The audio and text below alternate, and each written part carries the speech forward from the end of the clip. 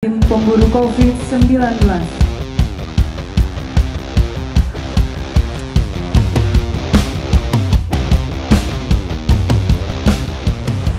nanti masyarakat bisa minta tolong kan ya? Siap, minta siap. langsung didatengin Siap, siap. kasus pandemi COVID-19 pasca libur lebaran kalau kita lihat grafiknya ada peningkatan oleh sebab itu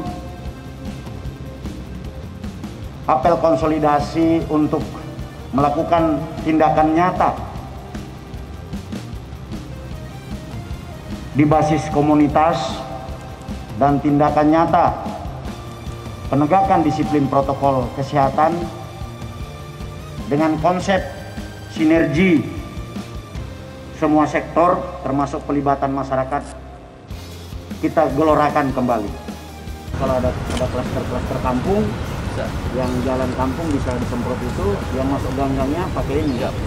Nanti kita akan siapkan laporan pengaduan yang bisa ditelepon satu kali 24 jam jika ada kasus.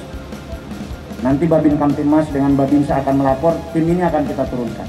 Demikian juga jika ada kerumunan yang membandel tidak mengikuti eh, ketentuan eh, perundang-undangan protokol kesehatan mulai dari pergub, perda ini akan tim pemburu ini, tim penindak ini akan kita turunkan.